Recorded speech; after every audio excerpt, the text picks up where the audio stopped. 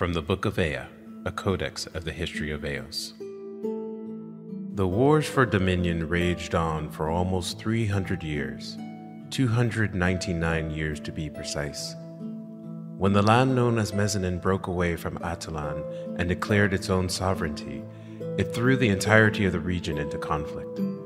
Bonds older than most remembered became severed in an instant, and a malaise cast itself over the remaining kingdoms that in theory remained in union and fellowship. But only in theory. The cause of the division and breaking away is still up for debate, for it was not in an instant that the seeds of discord were sown. Some say it had its roots in the adoption of the then new method by which Mezanin began to see its power and fortunes rise forging. Whatever the case, the world was out of balance as large fleets of warships and armies poured out from the island kingdom, commanded by then Emperor Kazian Claw. For 229 years, the wars and conflicts raged, until one day, 229 years later to be exact, all of a sudden, they stopped. Chronicled by Maya Swin. This is The First Noel by A. Diallo Jackson.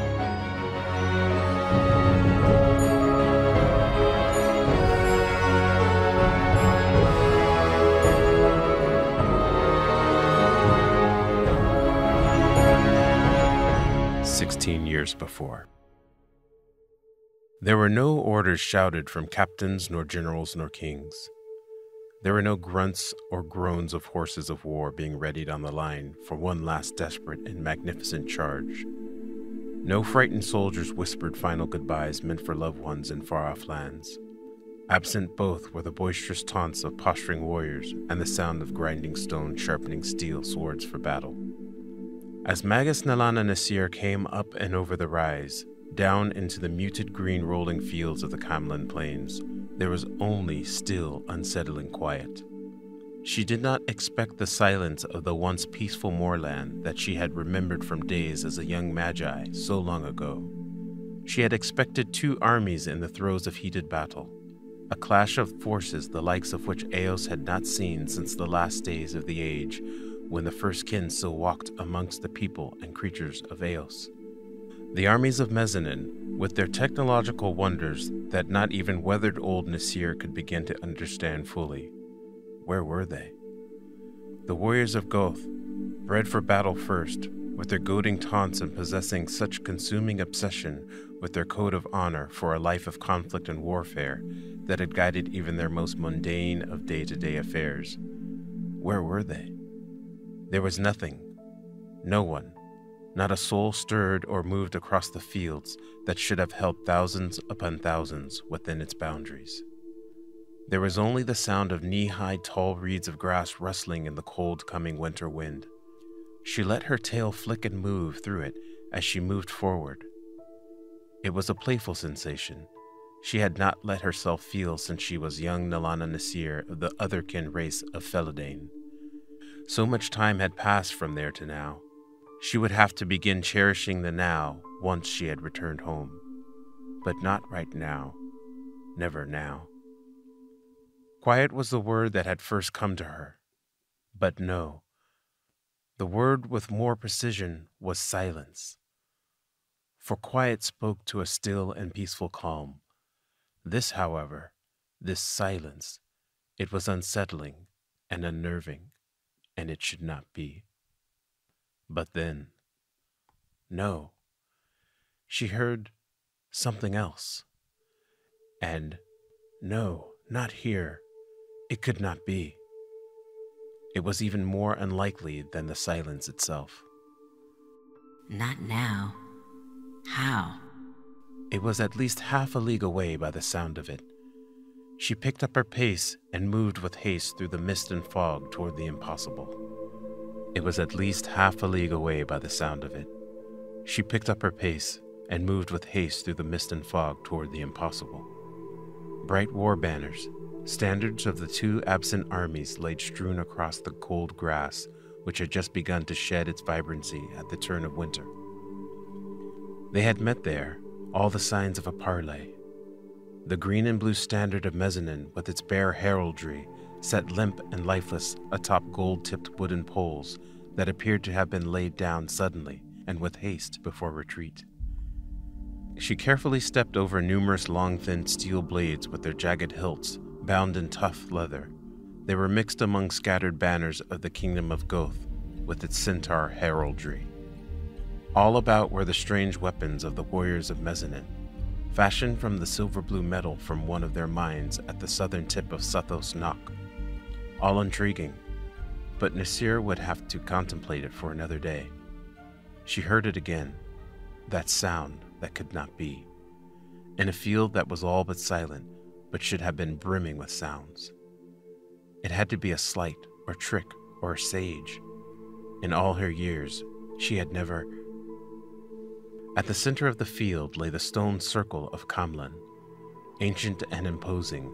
The nine jagged stones that jutted upward from the ground were wrapped in a blanket of an opaque dark gray mist. The stones appeared as hazy shadows in the morning light. On a clear day, and even under the most normal of circumstances, a stone circle presented as sinister, looming, watching, the holder of secrets from before life on Eos. Today, it felt worse. It felt like a stake in the ground, a marker of a grave. It was a sign of something, perhaps the harbinger of the end of all things. It felt like nothing. It felt like death. And yet, in the center of it all, was something else. Closer now. The noise now pierced the sensitive cat like Felidane ears of Magus Nisir. She moved her furry paws upward to muffle the sound. Then, just beyond the circle, in a small indentation between the tall reeds, she saw it, and she could not believe her eyes. Magus Nisir stopped at the edge of the stone circle with caution, against every innate impulse. She stood still completely and with a pause for what felt like an eternity of moments before she accepted that this was actually happening. All she wanted to do in the moment was to protect the child. This should not be. She removed her thick outer cloak. It was scratchy and rough, and was made to be sturdy enough to protect from the cold of winter. It would be uncomfortable for the child, probably, but it would protect it until she could get it to safety. As she cradled the small one and wrapped it tight, she closed her eyes and spoke. Fenwin Kolar. The air surrounding the child grew warm. As it did, the cries lessened, and finally the baby cooed with the contentment of a child that finally felt safe. Magus Nisir wrapped the cloak into a sling and placed it over her shoulder. The baby rested gently and secure, while Nisir suddenly looked upward and all around. The field of battle, or the battle that never was, she could not be sure. Desolate and empty, she would need to trek through and with haste. There was a story here to be told, a story that possibly only the child knew. As Nisir headed back over the rise and out of the faded green rolling fields of the Camlynn Plains, she looked over her shoulder one last time at the stone circle, distant but still prominent on the horizon, even through the mist.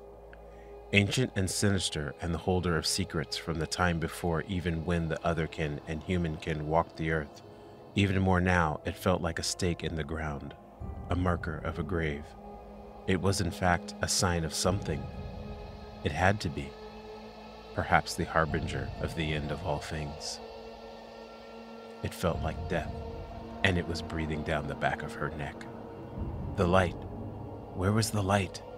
She looked up to the sky and it seemed to dim, but then she quickly realized no, it was not the daytime sky that was fading.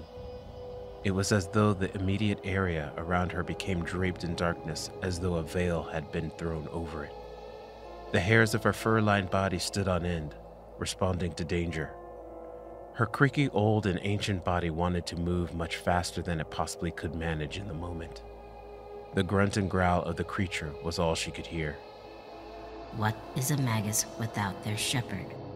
The mantra of the Orium rattled in her brain now. Foolish, stupid, stupid, foolish.